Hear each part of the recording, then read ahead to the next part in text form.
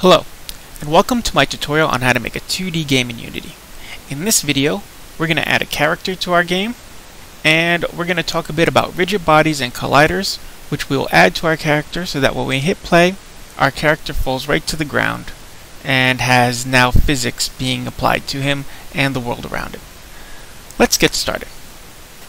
The first thing we're going to do is we're going to go over to our hierarchy window, we're going to right click, and we're going to go down to create empty to make an empty game object. We're going to rename this player and then we're going to hit add component type in sprite and then you should see sprite renderer right here. As of right now we don't have a sprite to put in here so we're going to go over here and inside our assets folder we're going to go to main character and I'm going to use Virtual Guy for my main character. You can pick whom you want. So, right here, we have under each of these double jump, fall, hit, idle, jump, run, wall jump.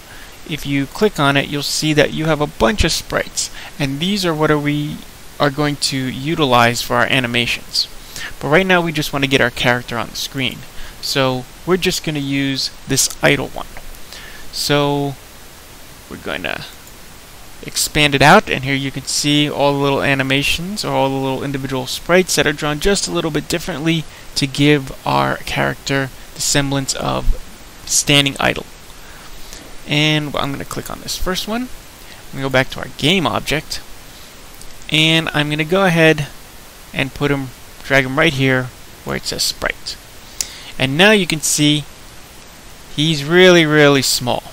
So to fix that, we're going to click again here on the idle and you can see that its pixels per unit is 100 but if you remember we set ours to 16 so we're gonna hit apply and boom our character is now been sized to a more usable level.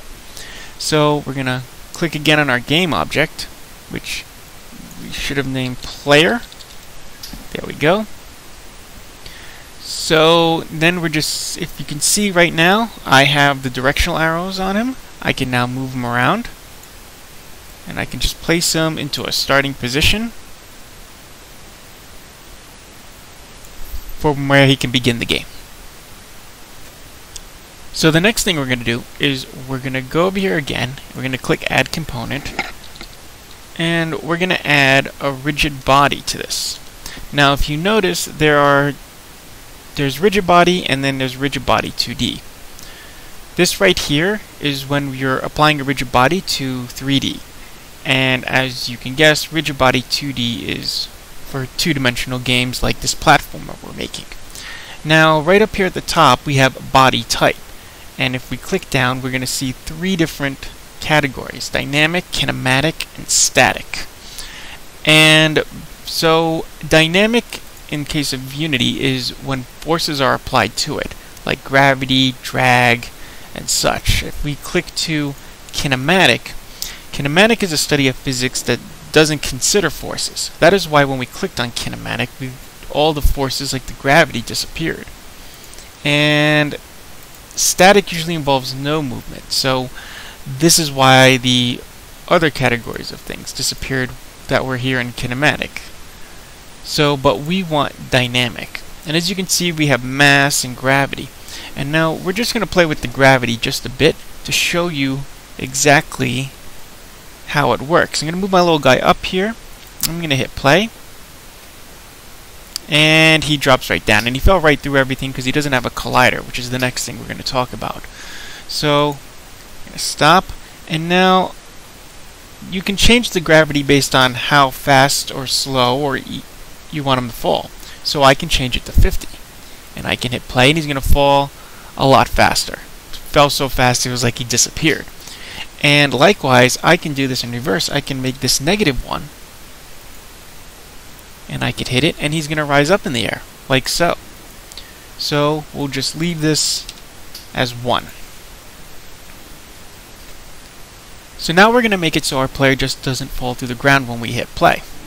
We're going to go over here again into our inspector window for our player character. We're going to hit add component And if you were to type in box, you would see the 3D box collider and the 2D box collider. You're going to hit that, and if you notice right now, we have this green box around our character. And I'll just get rid of the blue background so we can get it easier. If you have a sprite or anything anything that's a component on here, it almost always has a little check mark, which means it's being activated in the scene. If I were to unclick this, our sprite would disappear. So to make uh, see our box collider a little easier, I'm just going to click on this and just get rid of our background for a second. So going back to our player character, you'll see that this has this green box around it. Now this is the hitbox, for lack of a better word, of our player. Oops. So this is far too big of a hitbox. We want to shrink this down a little bit. So we're going to go over here to where it says Edit Bounding Volume. I'm going to click on it. And now we got these little boxes here that are going to allow us to change the size of our hitbox. So just click on the box, move it in. I'm just going to put it right on the edge of his goggles there. I'll move mine a little bit in from that, what looks like a strap, I guess, to his goggles. And then I'm going to move this down to the top of his head. And you can make your hitbox any size you want for your game. If you want a little smaller of a hitbox, go ahead and make it smaller. So now we're going to zoom out. And if you didn't know, if you hit your right mouse button, you'll get this little hand and You can grab your scene and move it around to center it. Just center ours a little bit. And we're going to hit play. And our guy's going to fall through the ground again because he, the there's no collider on any of our foreground. It's just an image there. So to fix this, we're going to hit tile map, which is what our foreground's in. And we're going to go down here, we're going to click add component, and if you just type tile, you'll get tile map collider 2D. I'm going to put that in, and as you can see, now all our tiles have a green box around it. It has a box collider on it. So now when we hit play, our little guy falls to the ground. So the next thing we have to fix is, if you look at uh, each individual block here, there is a collider for each of them. Each one has their own green box. So ideally though, we would like a just one green box around this whole platform and on the ground because then what we'll end up with is we'll literally have cracks in our ground and that could be problematic with some of the things we want to do in the future. So we're going to go over here to our tile map and we're going to add a composite collider 2D. And as you can see, it already attached a rigid body 2D to our tile map, you can't have one without the other. Now, if you notice, it automatically made this dynamic. And as you see, when we hit play, everything falls. So to fix that, we're going to want to make this static. And then down over here in our tile map collider, it's going to say use by composite.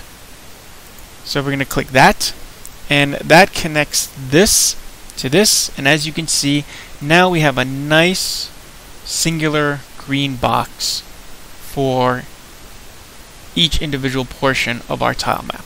And when we hit play, our character falls right to the ground just as before. That'll be all for today. Next time, we're going to add movement to our character. As always, thank you for watching, like my video, subscribe to my channel, follow me on Facebook and Twitter, and support me on Patreon. All links are in the description below. See you next time.